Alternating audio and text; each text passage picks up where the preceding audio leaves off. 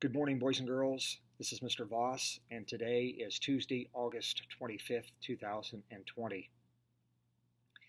These are the instructions for reading the module in my reading course on Canvas.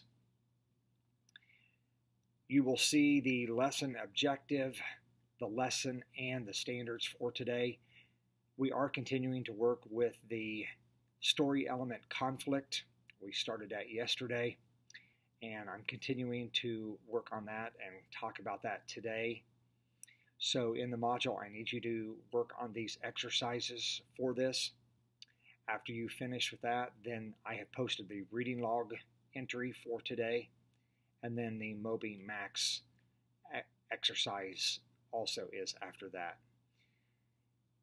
Then on my social studies course page uh, under American History, we are continuing to work on the module that I assigned last Thursday, and we worked on it Friday too.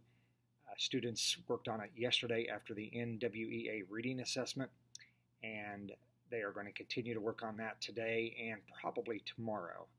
If you have not started on that, you need to get started on that as soon as possible. If you have any questions about any of the reading module or the social studies module, please contact me through Canvas with an email or my normal email address is rvoss at yorktown.k12.in.us.